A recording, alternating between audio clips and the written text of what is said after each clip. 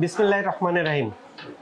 কোমর ব্যথা পিএলআইডি হাড় ক্ষয় হয়ে যাওয়া, জেলি বেরিয়ে যাওয়া, রগের উপর চাপ দেওয়া। যেভাবেই বলেন না কেন, সমস্যা কি? ব্যথা হয়, চাপ ধরে থাকে, হাঁটা যায় না, কারও কারও ব্যথা নিচের দিকে ছড়িয়ে যায় অসুস্থ ভিল হয়, রাত্রে ঘুমানো যায় না। এই যেতে সমস্যা।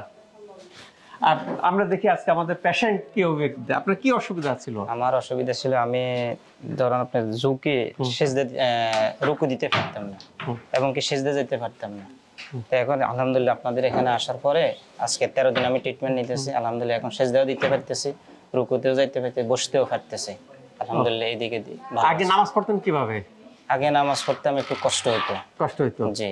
আগে কতটুকু ব্যান্ড হতে পারতেন? আগে অল্প ব্যান্ড হইতে এখন তো এক পুরাপুরি পারতেছি এখন পুরোপুরি পারা যাচ্ছে? জি। কয়দিন ট্রিটমেন্ট নিলেন? তেরো দিন ট্রিটমেন্ট নিয়েছি। তেরো দিন। প্রিয় দর্শক শশী হাসপাতালে কি করা হয়? আসার পর প্রত্যেকটা রোগীকে ডায়াগনোসিস করা হয়। যে উনি এই যে ব্যান্ড হতে পারতেছেন না ঠিকমতো নামাজ পড়তে পারতেছেন না ব্যথা হচ্ছে কেন? কারণটাকে আইডেন্টিফাই করা হয় কারণটাকে কারও হাড় ক্ষয় হয়ে যায় কারও জেলি বেরিয়ে যায়। বিভিন্ন কারণে যদি জেলিটা বেরোয় রগের উপর চাপ দেয়। এই রগ যেখানে যায় সেখানে কারও জ্বালা পোড়া হয় কারও শক্তি হয় না এই যে তো সমস্যাগুলো দেখা দেয়। সেখান থেকে পরিত্রাণ উপায় কি? পরিত্রাণ উপায় আকু পঞ্চাশ সহ লাইফস্টাইল করলে এই ক্ষয় টয় পূরণ হয়ে যায় জেলি টেলি ঠিক হয়ে যায়। ঠিক হয়ে গেলে এখন ব্যান্ড হওয়া যায়। আপনি থাকেন কোথায়? আমি ইটালি থাকি। ইতালি। জি ইতালি ফার্স্ট ওয়ার্ল্ড কান্ট্রি সেখান থেকে এখানে কি বেড়াইতে আসছেন না ট্রিটমেন্ট করতে আসছেন? আমি ট্রিটমেন্টের জন্য আসছি। ট্রিটমেন্টের জন্য আসছেন। তা আমাদের সংবাদ পাইলেন কীভাবে? এই ফেসবুকে দেখতেছি অনলাইনে দেখার পরে যে আপনার ফেসবুক ফলোয়ার আমি।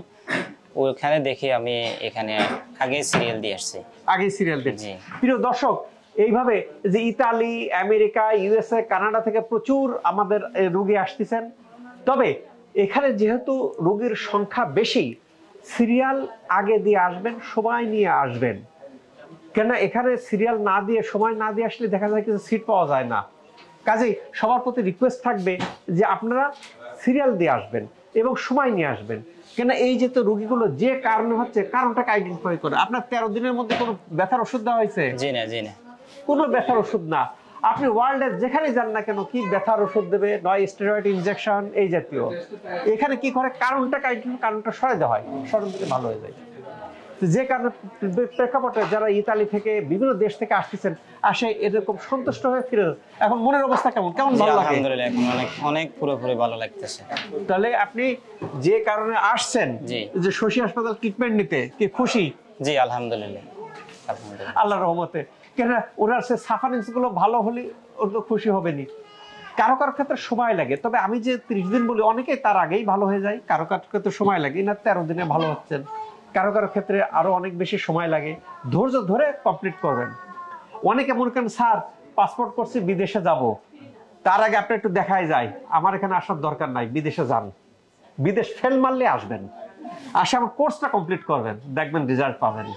বুঝেছে অনেকে কি করে যে বিদেশে যাওয়ার আগে দুই দিন নিয়ে দেখি। দুই দিনে তো ব্যথা বাড়বে। প্রথমে ট্রিটমেন্ট নিতে গেলে আমাদের কারও কারও ব্যথা বাড়ে।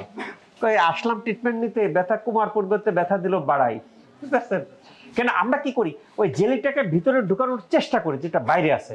ঢুকাইতে গেলে আপনার আকোপাঞ্চার, চাইনিজ ফিজিও, কাইরো অনেক রকম ট্রিটমেন্ট পদ্ধতি অ্যাপ্লাই করি। অ্যাপ্লাই করলে ব্যথা বাড়তে পারে। এই ব্যথাটা ক্ষণিকের জন্য। এরপরে কারও কারও ক্ষেত্রে একদিন বাড়ে, একদিন কমে, কমতে কমতে তিরিশ দিন টাইম লাগে।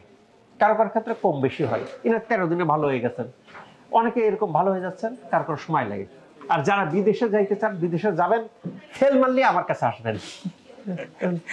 আমি, আমার কাছে যতগুলো রুগী আসছেন, আসার পরে রুগীগুলো এরকম করে, কেউ যদি একবার বলছেন যে, স্যার, আমি অমুক দেশে যাব সেই রুগী আমি দেখি না।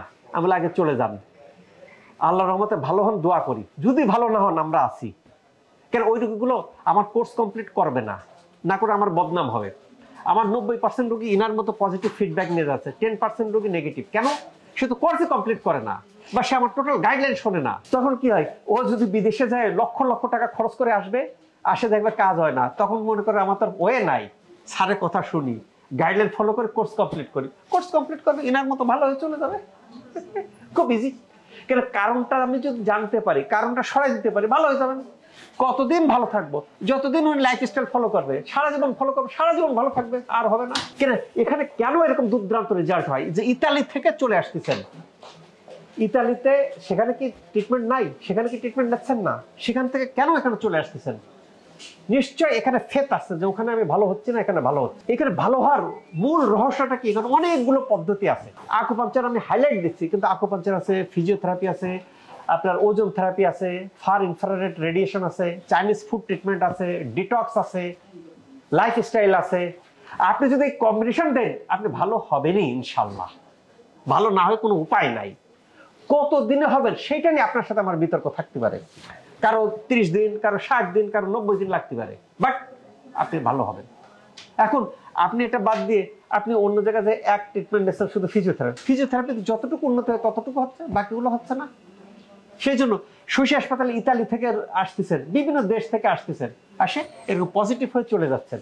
পজিটিভ হয়ে উনি আপনার এই সমস্যা কতদিন যাবত ছিল? আমার এটা প্রায় পাঁচ বছরের মতোই। পাঁচ বছর যাবত বছরের পাঁচ বছর তাহলে আপনার বন্ধু বান্ধব আত্মীয় স্বজন দেখছে যে পাঁচ বছর যাবত ভালো হন না এখন ভালো হচ্ছেন তো এই জিনিসগুলো যখন জানতেছে তখন তারাও এর দিকে চলে আসে ইনশাআল্লাহ তারাও আসবে জি। আল্লাহ রহমতে এই যে তো যাদেরকে বিভিন্ন জাতের হাড় ক্ষয় হয়ে যাওয়া আছে বাতের ব্যথা অ্যানকালাইজিং স্পন্ডিলাইটিস মাইস্থেনিয়া গ্রেভিস নার্ভজনিত জটিলতা ব্যথাজনিত জটিলতা আসে কোর্সটা কমপ্লিট করেন দেখবেন আপনার আইডিওলজি চেঞ্জ হয়ে যাবে। কোনো ওষুধ না। নো পেন কিলার কোনো ব্যথার ওষুধ দেওয়া হয় নাই। কোনো ব্যথার ওষুধ না। কেন এখানে ব্যথার ওষুধের দরকার নাই? ওষুধ দরকার সার্জারি দরকার। যেসব রোগীর ওষুধ সার্জারি ছাড়াই ভালো হয় সেই রোগীগুলো এখানে ট্রিটমেন্টে ভালো হয়ে যায়।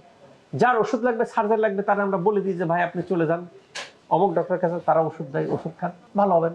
এই যেহেতু সমস্যা থেকে মুক্ত থাকার ক্ষেত্রে যে আকুপাঞ্চার দুর্দান্ত ভূমিকা পালন করে আমাদের এমবিবিএস ডাক্তাররা যে মেডিসিনের বই পড়ে, মূল মেডিসিনের বই হচ্ছে ডেভিডসন মেডিসিন এতদিন আকুপাঞ্চারকে ওইভাবে ছিল না। এখন এখানে কি চব্বিশতম এডিশনের মধ্যে আপনার আকুপাঞ্চারকে খুব হাইলাইট করা হয়েছে। করতেই হবে। কেন এখানে ন্যাচারাল পদ্ধতিতে ভালো থাকার ক্ষেত্রে এর বিকল্প নাই। এখন কি হচ্ছে? প্রচুর ডাক্তার পেশেন্ট ডিফার্ট করতেছেন। প্রচুর। যার ফলে এখানে পেশেন্টের সংখ্যাধিক্য রয়ে গেছে। পেশেন্ট আসার পরে সিট পাবেন না বেড খালি পাবেন না সিরিয়াল পাবেন না। সেই জন্য আমার রিকোয়েস্ট থাকে যে সিরিয়াল দিয়ে আসবেন, সময় নিয়ে আসবেন। আর কেউ কেউ যদি জটিল রোগ আসে আগে বুঝে যাবেন, বুঝে যাওয়ার পরে দেন প্রিপারেশন নিয়ে আসে ট্রিটমেন্ট নেবেন। নিলে ইনার মতো ভালো হয়ে যাবেন। এরপর লাইফস্টাইল ভালো ফলো করবেন, ভালো থাকবেন। আল্লাহ তালা আমাদের এই জাতীয় সমস্যা থেকে মুক্ত রাখুক, এই প্রত্যাশায় আমি ডাক্তার হাসান শহীদুল ইসলাম।